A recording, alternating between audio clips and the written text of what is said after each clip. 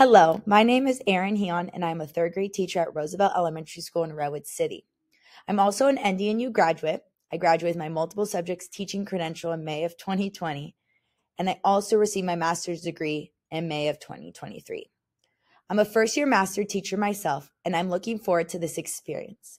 My master teacher and supervisors really helped shape me into the teacher I am today. Not only did they see my potential, but they believed in me and pushed me out of my comfort zone. They saw my strengths and also helped me improve on things that were challenging for me.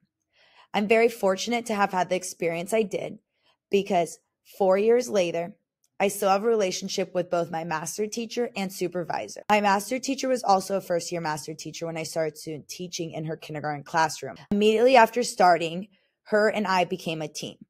Becoming a team with her helped everything go so much smoother for me.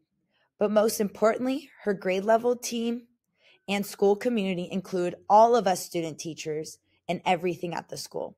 We were included in discussions both about school and sometimes just friendly personal conversations over lunch.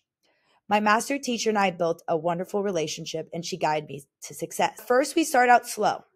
I was observing her, which then led to me doing daily read alouds and conducting morning meeting, which then turned into me co teaching lessons with her, working with small groups, which then led to me, me to take solo lessons, which then led to my solo day. Things into chunks really helped me succeed. She always made sure I was comfortable with everything she was having me do. She never pushed me to do something if I didn't feel ready for it. And I felt comfortable enough to have those open and honest conversations with her, asking her, I'm not quite ready. Can I observe you one more time before I do it on my own?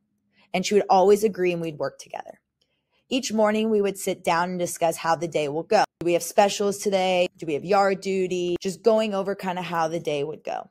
Reviewing the agenda more in depth than what we share with the student. And then we always ended our day each afternoon with recapping how the day went.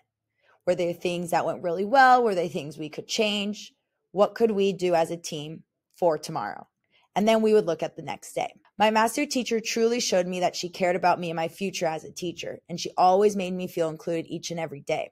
I even got the chance to build wonderful relationships with families as well. I'm wishing you all the best in this experience.